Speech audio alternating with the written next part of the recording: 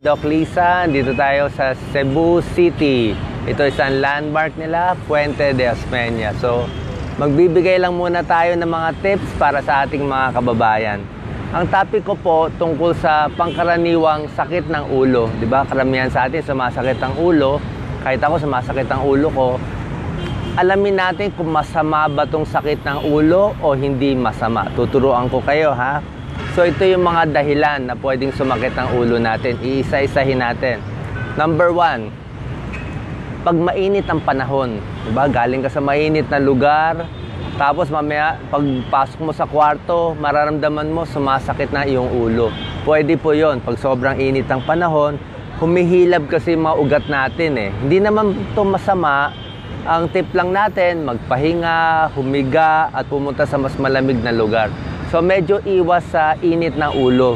Kung uh, kung masyado mainit, pwede po uh, sumakit ang ulo natin. Ang second na dahilan na sumasakit naman yung ulo natin, yung dahil po sa mata natin. Palagay natin ang sakit ng ulo dito sa may noo. Pag nagbasa kayo ng dyaryo, sumasakit banda rito sa noo. Ibig sabihin nun, malabo ang mata. Kailangan nyo magpagawa ng salamin kasi pag nagbabasa nga tayo, lalo na pag nagkakaedad, hindi na natin gano'ng mabasa. Kaya pinipilit natin basahin, sumasakit yung mata natin at dito sumasakit. So ang gamutan, uh, paggawa ng salamin. Isa pang dahilan ng sakit ng ulo ay migraine. Maraming may migraine. Ang migraine, malalaman nyo ang migraine pag ang, mas, ang masakit po, isang parte lang ng ulo. Pwedeng kaliwang parte ng ulo o kanang parte ng ulo, migraine yon. Tapos, ang migraine, humihilab siya para siya tumitibok-tibok. Tumitib, uh, sumasabay sa pulso natin yung sakit ng ulo. So, migraine yon. Ang gamutan sa migraine, doktor kasi nagbibigay nito, mga neurologist, merong mga gamot na binibigay para maiwasan yung pag-atake ng migraine, yung mga sumatriptan. Pero pag nandyan na yung atake, pwede rin naman yung mga pain reliever, siguro isa o dalawang tableta lang. Tapos kung may migraine kayo, kailangan matahimik at madilim na lugar, tahimik na tahimik uh, para mabawasan yung sakit ng migraine. Delikado ba ang migraine? Hindi naman talaga delikado, lalo na kung may lahi kayo ng migraine. Pero yun na nga, iwas tayo sa sobrang pagod, sobrang puyat, nakaka-atake ng migraine. So, nakwento ko na sa inyo ha, init ng panahon, sasakit ng ulo, malabo mata, migraine. Pang-apat, merong sakit sa ulo na banda rito sa may sinus. Meron tayong mga sinus sa ulo natin eh. Pag sumasakit banda rito at banda rito sa tabi ng ilong, sinus po yon. Ano kasamang sintomas? May sipon, medyo ngongo, parang hindi maganda yung boses. Uh, tapos may maraming plema, madilaw ang plema. Ang sinus kasi po natin, may purpose yan kaya ang boses natin malaki, bilog, parang solid ang boses natin dahil nga sa sinuses eh, parang drum yan. Pero pag yung sinus natin napuno ng plema, ang boses natin nagiging manipis, parang lahat yung boses, nawawala kasi yung ganda ng boses dahil sa sinusitis. Pag may sinusitis at maraming plema na madilaw, binibigyan po natin ng antibiotics, mga pitong araw, para mag-clear up yung sinuses. Pero kung pabalik-balik na yung sinusitis ninyo, kailangan natin magpatingin sa ENT doctor, ear, nose, throat doctor. At minsan, meron silang ginagawang procedure, uh, tinatanggal nila yung plema, meron silang mga aparato, makakatulong ang ENT consult. Ngayon naman, meron po tayong pangkaraniwang sakit ng ulo, ang tawag natin dito, stress o tension headache. Ang tension headache, ah, marami kang trabaho, sobrang aral sa mga estudyante, di ba? Pag aral kayo ng aral masyado, sakit na ng ulo ko. Eh, siyempre, aral ka ng aral eh. Maraming iniisip, tension headache din yon. Ang tension headache, ang masakit, buong ulo. Ha? Buong ulo, dito sa harap, dito sa tabi, parang may masikip na nakaipit sa ating ulo. Yung muscle kasi ng ulo natin sumisikip, tension headache. Ang gamutan sa tension headache, masahe. Uh, minamasahe natin yung anit dito sa harap, dito sa side, dito sa likod.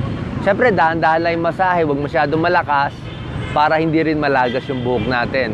So, dito po, banda sa likod, dito sa may sentido, minamasahe din. Kung may ibang magmamasahe, mas maganda. Dito rin sa may noo. Yun po, nakatulong sa tension headache. Sa buong ulo yung tension headache. Yung tinuturo ko kaninang migraine, kalahati lang ha, migraine. Mas serious konti ang migraine. Ngayon, pupunta naman tayo sa mga sakit ng ulo na delikado, may peligro at emergency na kailangan magpatingin kayo agad sa doktor. So pag yung kaibigan nyo, sinabi niya, masakit ang ulo ko, ito po ang warning signs na delikado ang iyong sakit ng ulo. O, ano, ano itong mga warning signs? Binabantayan natin, syempre, stroke. Diba? Ang senyalis ng stroke, ang kodigo is FAST, F-A-S-T. So, F, tingnan yung muka. Uh, nangiwi ba yung muka? O ibang usapan yon. A, arms, tingnan yung kamay. Uh, baka hindi maitaas ang kamay. Nangihina isang parte ng kamay. Uh, stroke po yon. Pag pinataas mo yung kamay, naglalag siya.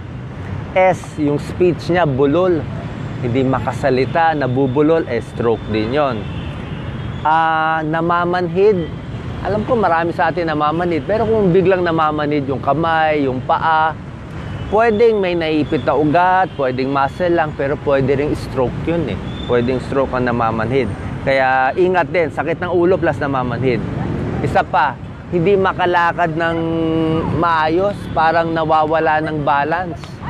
Kasi yung balance natin nasa utak din yan eh. So pag na-stroke, hindi rin sila mala makalakad ng maayos parang matutumba.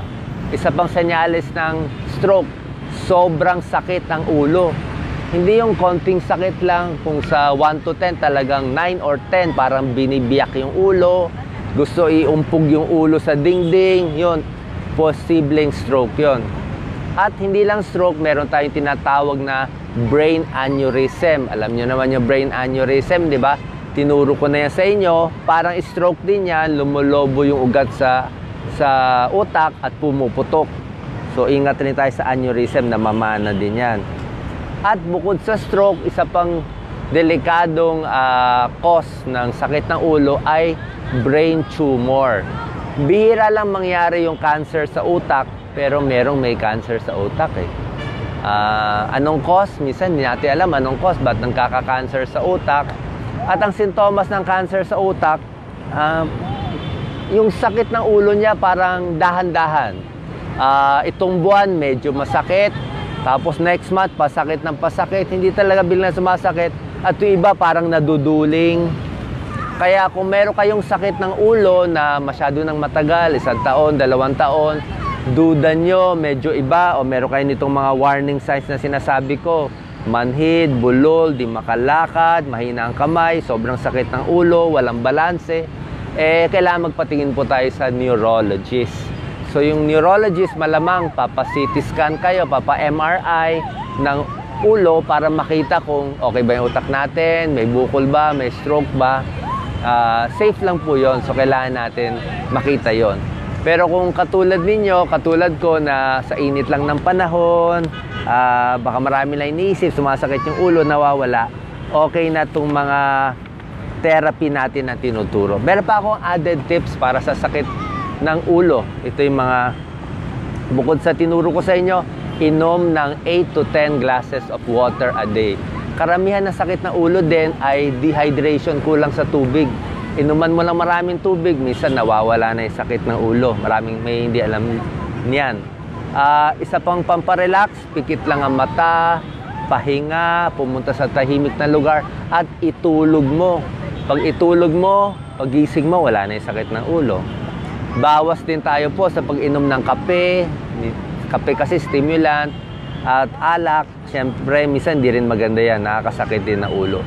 Pagdating sa pain relievers, uh, pwede uminom siguro isa, dalawang tableta uh, tama na kung talagang sobrang sakit ang ulo. Pero kung hindi man sobrang sakit, pwede na itong mga therapy na tinuturo ko at konting massage sa ulo.